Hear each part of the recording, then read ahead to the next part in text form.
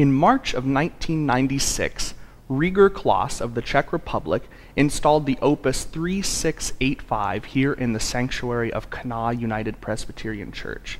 The pipe organ has 1,908 pipes, making up the 31 to 32 ranks of pipes. Today, I'm going to give you a tour of the console and the inside of the case so you can have a better understanding of what the organist is doing on Sunday morning. Let's first take a look at the console. The console is where the organist controls the instrument. You will notice that we have three keyboards or manuals. The bottom is the great, the middle is the swell, and the top is the solo. In addition to the three manuals, we also have the pedal board on the floor, which is basically just a keyboard for the feet. Looking to the left and right of the manuals, you will notice a series of draw knobs or stops. Each one of these stops controls a different rank of pipes. Each rank of pipes has a different sound or timbre.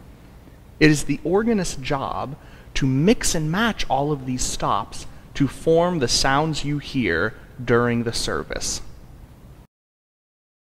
We are now inside the organ chamber on the bottom level.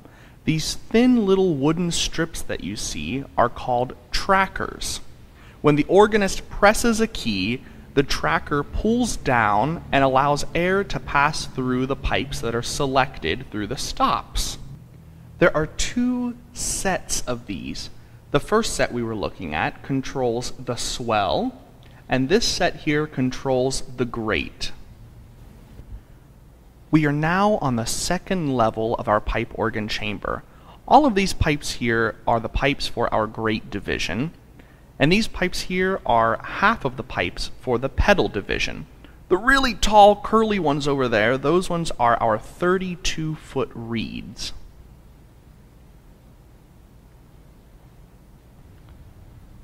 Over here we have the shutters for our swell box. This controls the dynamics, or loud and softness, of our pipes inside the swell box. The pipes that are housed inside the swell box belong to the swell division. This concludes today's tour of the Rieger-Kloss pipe organ here in Kanawha United Presbyterian Church.